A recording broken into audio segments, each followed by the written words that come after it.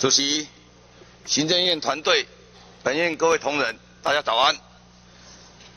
这一本是今天江院长即将针对核事所提的专案报告。啊，我刚刚前文把它看完。江院长有提到理性沟通，扩大全民参与，但是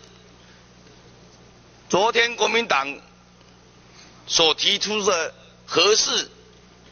公投主文呢，却是为了配合马总统所主张的核事一定要盖好，也一定要运转，在这样的一个思考之下，又想利用公投法的缺漏，让核事强渡关山，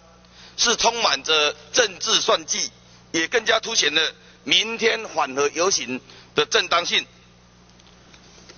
我想在这里呢。我必须严正提出来，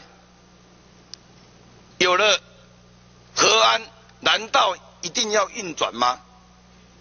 有了核安，难道要运转吗？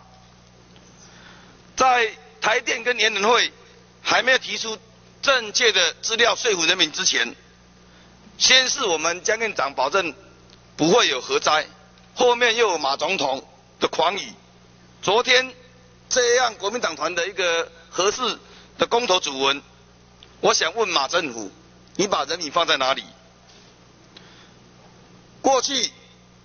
我们台湾已经有四座的核能、三座核能发电厂，现在核市场是我们人民做决定的重要时刻。核能安全是政府本来就应该做的事情，但决定要不要核能，应该交由人民来做主，请。马总统能够体会民意，没有核安就没有核能，但是有了核安，如果人民不要，也可以不要核能。所以本席将与这个会期提出原子能法的修正，希望在核市场或者任何核电厂要运转、要商转之前，必须经过人民同意，才能进行商转。